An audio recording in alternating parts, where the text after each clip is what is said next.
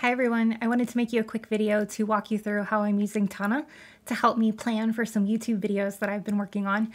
And what you'll see is this is an upcoming date, so this Friday the 21st of October.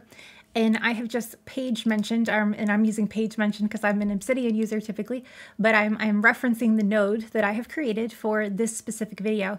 And the way I call that up is I just hit the at sign and I can search for the name of it, but I've already added it here.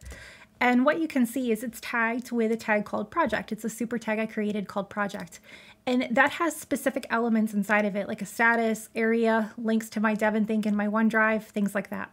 Um, but what occurred to me is I could also create a tag called YouTube, and then I could have YouTube specific fields. So I'm going to go ahead and open up that node and add that tag so you can see the additional fields that are added. So this is pretty cool.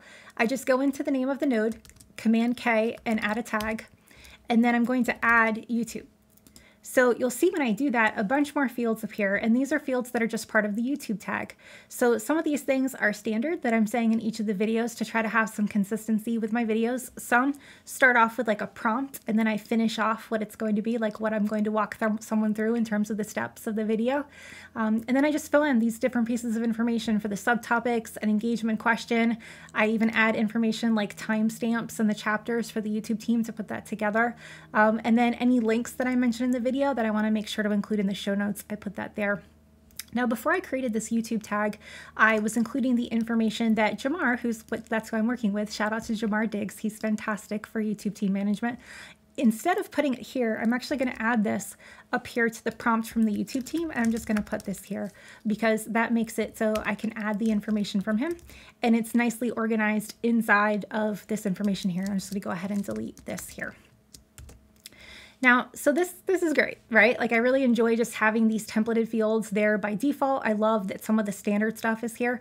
But one of the really cool things that I figured out how to do is that I have my sidebar where I've created some different areas and I just did that by going to my name and then adding different things that I wanted to have and creating search nodes underneath each one of those. But if I go to areas and I go to YouTube, You'll see it looks pretty basic, but I have three search nodes that I've set up already. So I have YouTube statuses and timestamps. So I have information about the two YouTube videos I've worked on so far that I've used Tana for. The date is the date that I submit it to the YouTube team, so I'll, I'll eventually make that more descriptive. The status is just that I've submitted it. Later I can change it to I need to review it or I have some things to do to edit it the information I'm putting about timestamps, note for those of you that are like, but there's no timestamps, that's because I record each one of the different chapters separately. So I don't have to worry about talking for a long amount of time and not messing up. So I just do a bunch of videos. That makes it easier for me. So that's the first search. The second search, video topics, this I thought was kind of cool. I could show myself really quickly, well, what were the topics? And then there's information within each of these topics if I've added information. And then finally, video details. And I'll just go back here, but I can expand it just by clicking on it. Um, and I can see, you know, the hook, the introduction, the transformation, all the different topics and content.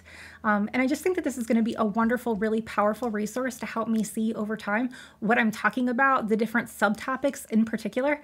I know that when I was teaching classes that were similar, sometimes I had a tendency to repeat myself despite best laid plans and lesson plans to help me not do that. So I think being able to see the subtopics I'm addressing in each of the videos over time is going to be super useful. So I hope you found this video to be helpful and please feel free and let me know if you like it or not or want to see other things about Tana by commenting down below. Thanks.